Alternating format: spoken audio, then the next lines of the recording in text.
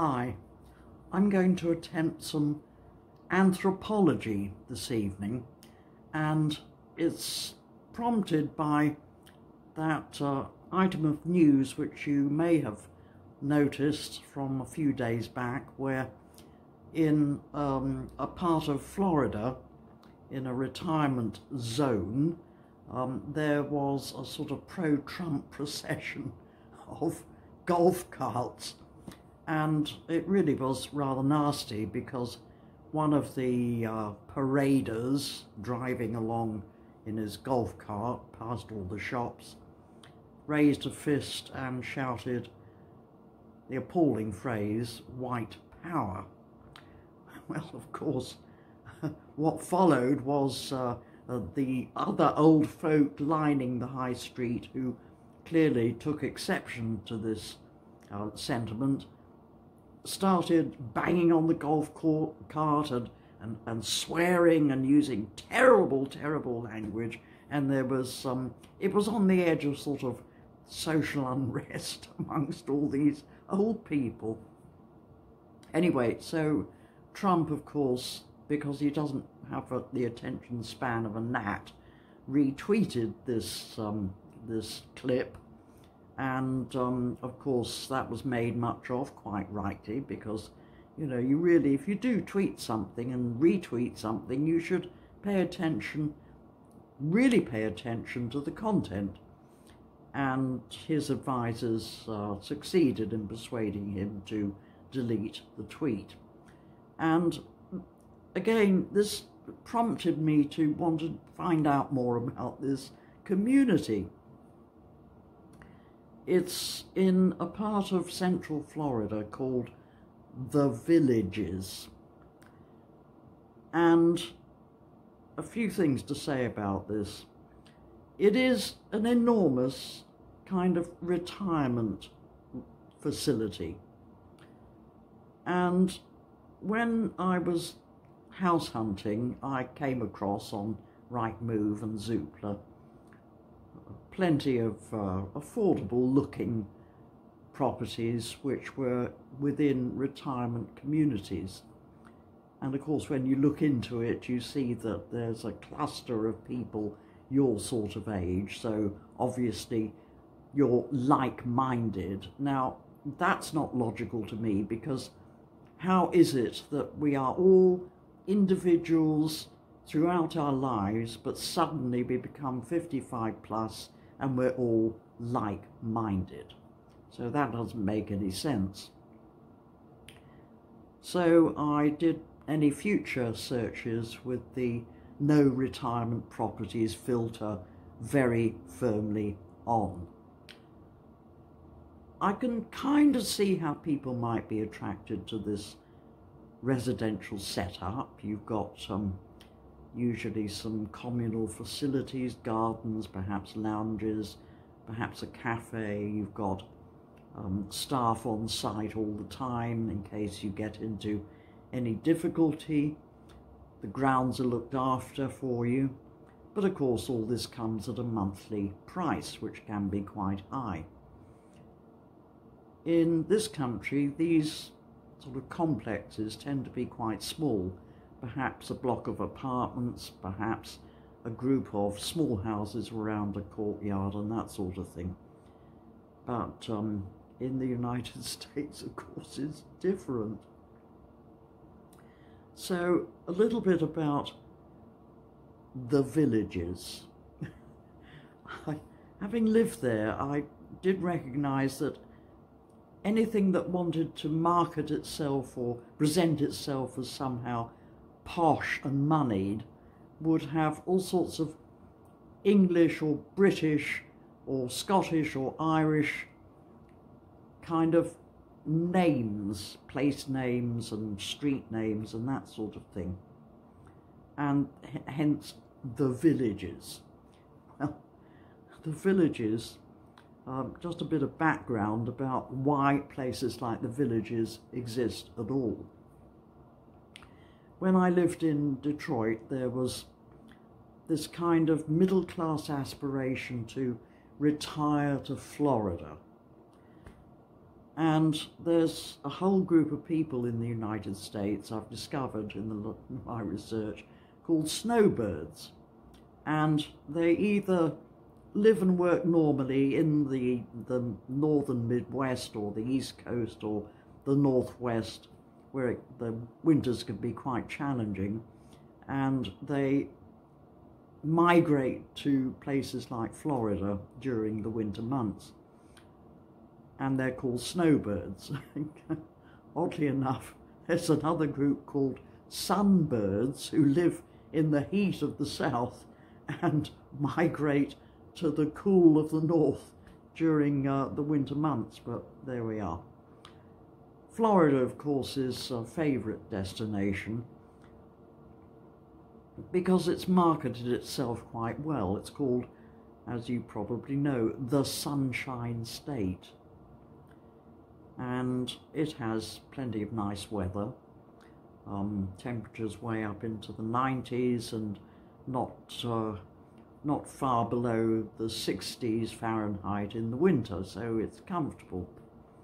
Snow happens, but it is an extraordinary weather event when it does. What isn't extraordinary are the tornadoes and hurricanes. And a few years back, I was sent to a conference in Orlando, and it was the first time I had ever been to Florida. I never had the slightest desire ever to go to Florida. And what can you say? Um, in the hotel one evening, I was watching television, I think a day or so after I arrived, and there was something I remember from my childhood coming up, flashing on the television screen, tornado alert. Now, there are two classes of tornado announcements. Tornado warnings, which means there is a strong possibility that um, tornadoes may develop. And the next one up is the terrifying tornado alert, which means they have developed and they're coming after you. So I, I remembered the sort of drill that we used to adopt all those years ago when I was a kid. I got into the bath because it's the most armoured, protected part of, of any building. So I spent some time um, lying in the bath until I left the television on until things were had calmed down. But you know, that's the beautiful weather of the Sunshine State. Other aspects of Florida are that, well, it's all based on the fact that even if you look at the map, it is quite clearly simply an enormous sand spit. And the elevation is around 100 feet above sea level. And it's pretty flat. I think there is one famous hill um, that is some 300 feet high, and that's it.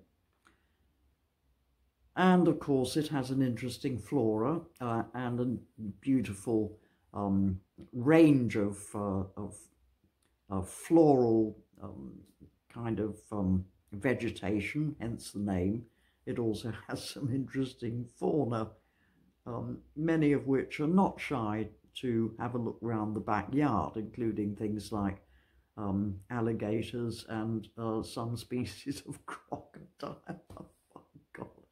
And of course, it's known for um, quite a lot of land-based water. If you look at the map, there's a lot of kind of quasi-circular lakes, and it's because of all the sinkholes.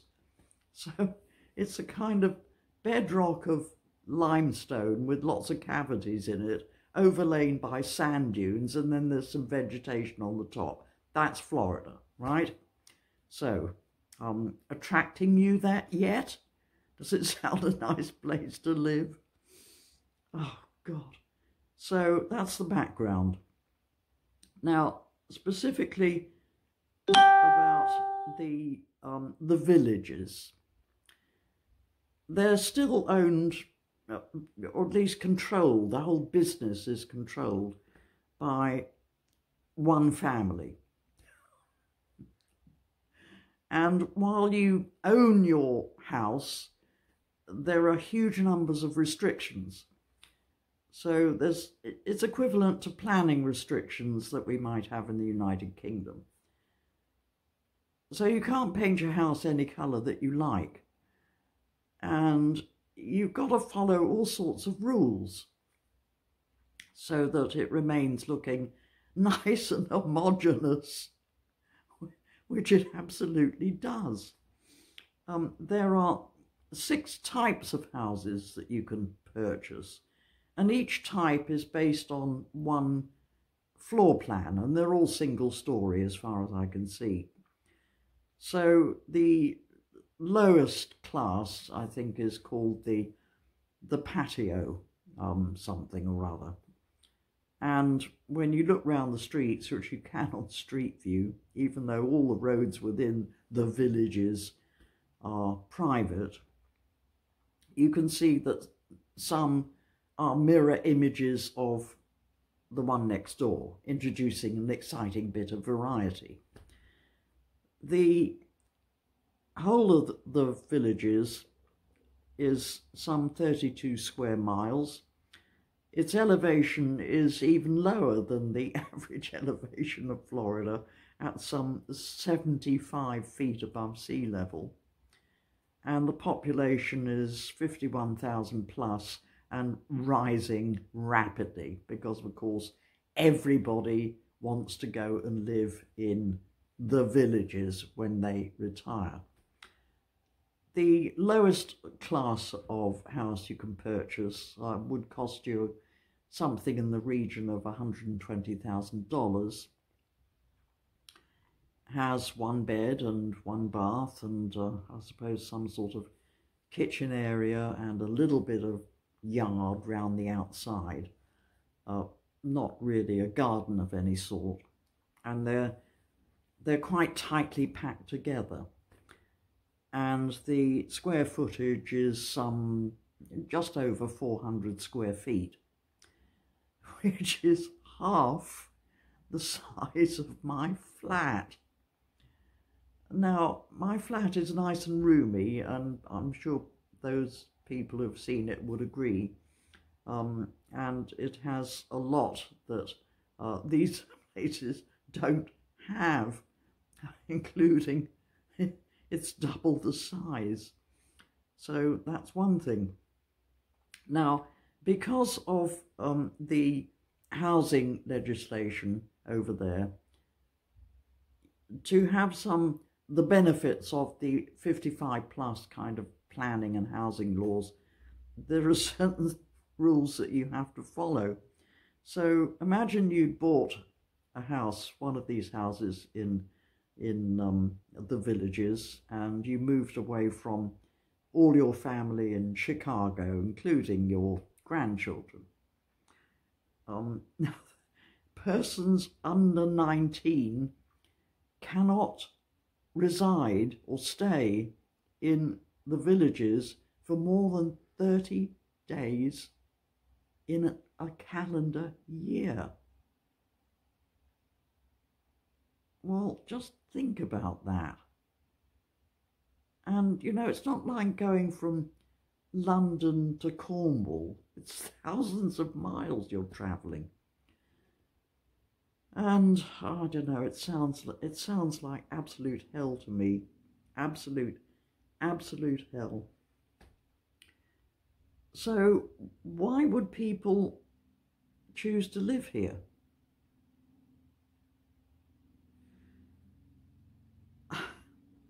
I endured watching a 30 minute promotional video produced by the granddaughter of the instigator of the villages, extolling the virtues and why you should certainly at least seriously consider buying a house in the villages.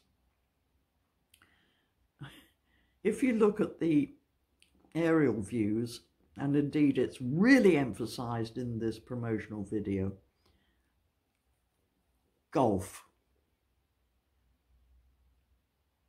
There are golf courses all over the damn place.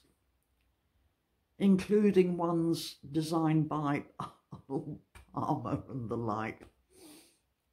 Um, and if you're a resident of the villages, you have free access to these courses and you don't even have to pay a green fee.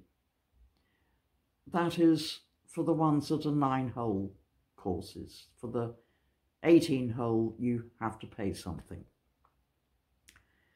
There are clubs. There are dancing clubs and crafting clubs and shuffleboard clubs and uh, there's sport aside from golf like something called pickle pickleball don't ask me to explain it google it right do yourself a favor google it um, there are recreation centres and country clubs and you have automatic free membership if you are a resident of the villages. So you can go and talk rubbish to other people who are like-minded like you for hours on end. Um, there's shopping and there's sort of mainstream food um, outlets and restaurants and that sort of thing. Um, and it all sounds lovely because, you know, they you're never bored. You've always got something to do. You've always got someone to talk to who's like you. Um, so this idyll is enhanced further by something which I don't know if it's peculiar to the villages, but um, anyway, it's certainly there. Uh, the main mode of transport around the streets of the villages are golf carts golf carts, of course. so that's how you go and get your shopping. You're allowed to have a car, but you're you're not really going to fit in unless you drive around in a golf cart. And of course, because there's this huge conglomeration, 51,000 people and increasing in one area, you become rich pickings for the scammers. You know, the sellers of unnecessarily expensive water softeners and insurance schemes and all the other things that scammers like these uh, target the older part of the population for. And also because effectively you're your benefits are largely controlled by one family, then if they decide to increase any of the charges, and of course there are charges, as you would expect for general maintenance and the like, uh, so they can increase all of these charges um, as much as as much as they like. Interested yet? So there we are, that's the villages.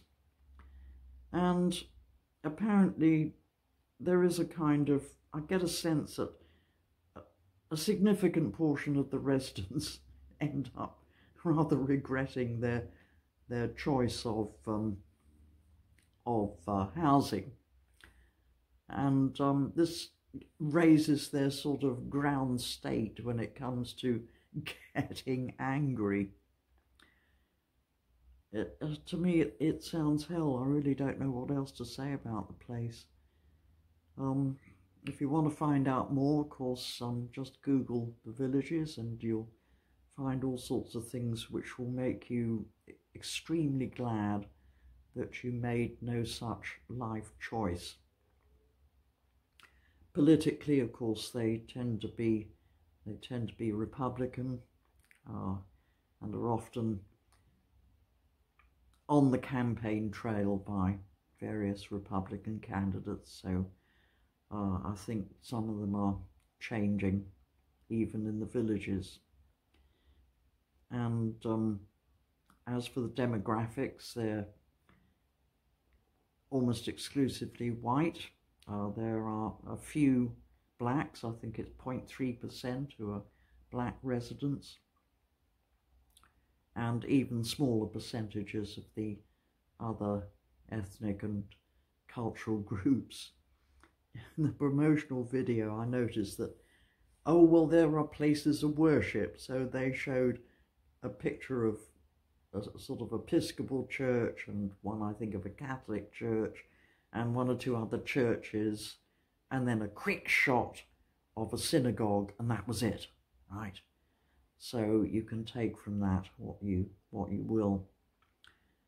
I must say I, I did enjoy doing this research because it made me feel very lucky indeed, and so lucky that I live in a normal community where there are people of all ages and um, reasonably diverse backgrounds, and um, it, it's just normal. And normal is our one aspiration at the moment, isn't it? So have a flyover via Google and Google Earth to the villages and fill your boots, enjoy yourself.